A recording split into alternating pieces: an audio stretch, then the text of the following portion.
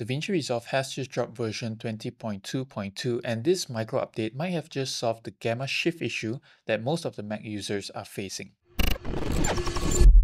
Hey guys, I'm Danny, your friendly neighborhood colorist, and let's jump right into the video. Right now, I'm on version 20.2.2, and the main thing that has changed is in this DaVinci Resolve menu, in your preferences, so if you go into the System General, you will notice that under Use Mac Display Color Profiles for Viewer, there is this new checkbox here, which is Viewers Match QuickTime Player when using Rec 709 Scene. So I was quite intrigued by this because I don't usually have this Use Mac Display Color Profile enabled, but once I update to the latest version, it automatically checks it for me. And the reason why I don't have this checkbox enabled is because I'm working on a Mac Studio and I'm using an external monitor which is an LG. And I find that the Mac OS color profile or the ICC profile that you find in the display settings in your Mac is not exactly accurate when you transfer it into your color viewer over here. But if you're using something like a MacBook Pro or MacBook Air, then it might make more sense because your OS and your display is in sync. So as I was saying, I was quite surprised that they automatically have these two checkboxes checked because now after the update, the colors and the contrast in the DaVinci Resolve looks very similar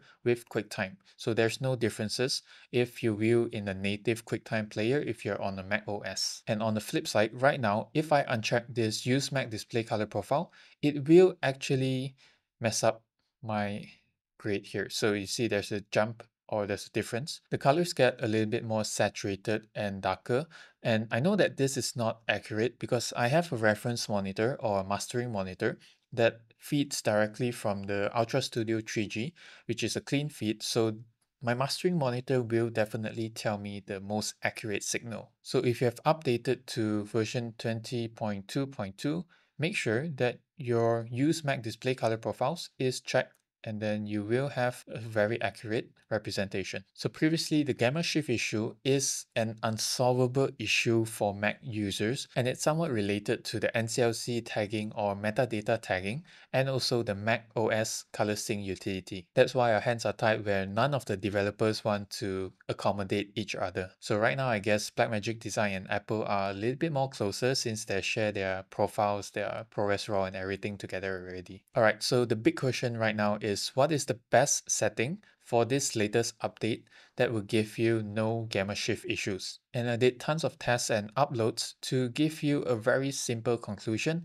and a very straightforward workflow. You can skip ahead to the results if you want, but if you're interested to know what are the tests that I did, these are the factors that I tested for. The first element is particularly for node-based color management. What is your ODT, your output color space, and output gamma? And within DaVinci Resolve, I always output to Rec 709 Gamma 2.4 because it's the most compatible one if you're using, let's say, LUTs that are meant for Rec 709 Gamma 2.4, and it's also a broadcast standard. So this will be a constant for me if I'm doing a node-based color management.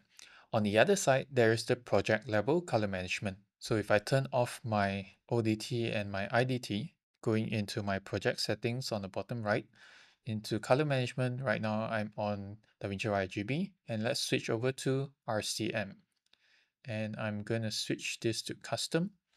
For input, I'm going to do S-Log3 because this is what the clip was shot in. Timeline, it doesn't really matter, but output color space. So the second factor is this output color space in our project level color management. And the different variations that I've tested is Rec 709 Scene, Rec 709 Gamma 2.4, and also Rec 709A. We will have a look at the results later on. And the last factor, so if I click on save, you will have your color managed clip. The last factor is in your deliver page. In the advanced settings, there is a color space tag and also a gamma tag. And for these two settings, the variations that I've tested is Rec 709, Gamma 2.4, and Rec 709A. And after going through the various combinations and pulling it back into DaVinci Resolve as well, because this is what the online editor will see if you export as a colorist. So you see there's a little bit of a difference when it comes to some of the combinations.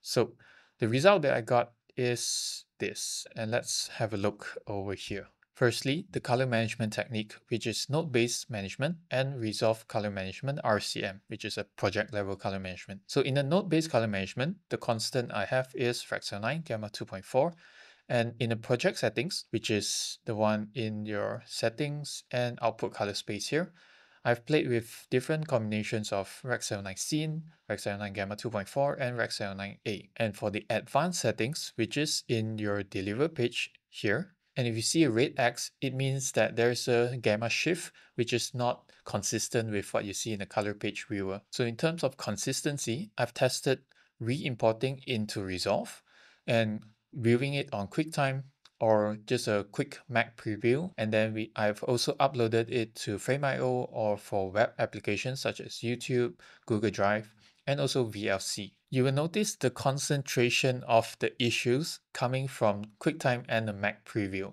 So as for node-based color management, you can see the one in green is the one that I'm recommending.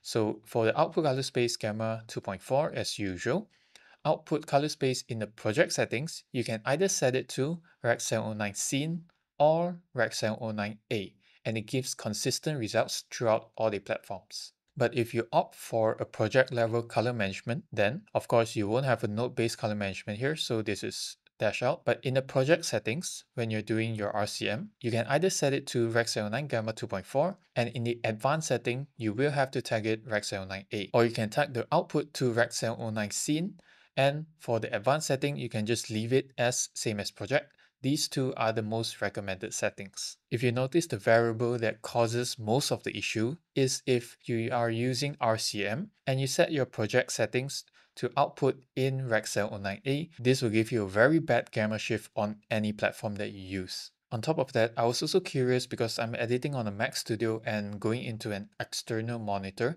So I was curious whether it works the same on a MacBook Pro or MacBook Air. So I did the same test on my MacBook Pro and it seems like it's similar as well. So on the left here is in QuickTime and on the right is in the Resolve Color Viewer. I don't really see that much of a difference except for maybe just a tiny bit in the black over here. But this is a lot less of a gamma shift than what you were experienced previously. So with this update, it's such a massive improvement because right now I can confidently say whatever you see in your DaVinci Resolve color viewer is what you will get when you export it to QuickTime later on. So I hope this was clear enough, but if you're still not sure what settings you should make, you can watch this video because this was a previous video that I did, but it still stands with this update. And if you found something useful, drop a like and subscribe to watch more. I'll see you guys in the next one. Bye bye.